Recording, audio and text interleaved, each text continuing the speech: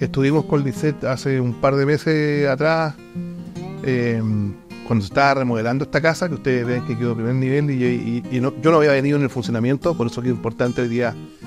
Me invitó Lisette ya que estamos en pleno funcionamiento hace ya más de un mes y medio, eh, es muy moderna, una clínica que no tiene que envidiarle absolutamente nada a las clínicas privadas que uno conoce en, otros lugares. Em, de hecho, estábamos revisando acá y estoy muy contento si la imagen puede salir.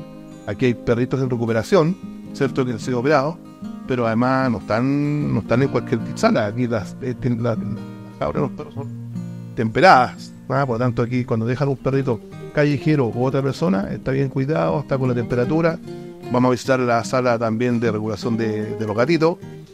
Em, tenemos cuatro funcionarios que están a disposición, eh, que operan eh, todos los perros callejeros o gatos que alguien denuncia gratuitamente que es una clínica eh, municipal a disposición de la, de la ciudadanía. Es la segunda habitación o la segunda clínica veterinaria donde hemos mejorado las instalaciones para darle la mejor atención a los animales.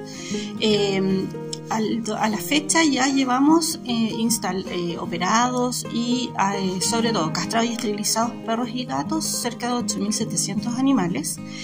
Eh, hay que decir que nosotros estamos operando todos los días del año, no hemos parado ni en vacaciones ni en durante la pandemia que también se estuvo trabajando, por eso este número tan alto de esterilizaciones, considerando que es solo recurso municipal.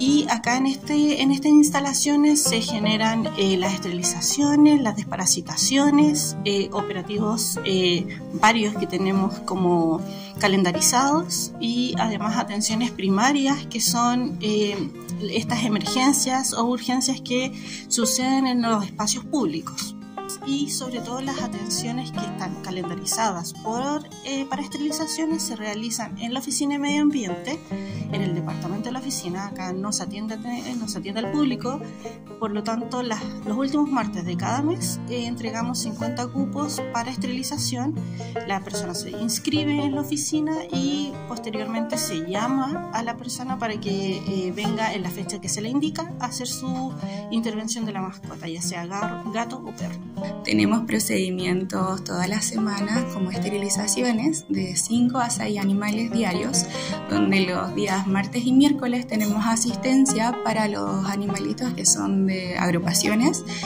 Son cinco agrupaciones con las que trabajamos y ahí podemos darle cupos para todos y ellas se encargan del área más eh, animalitos de calle.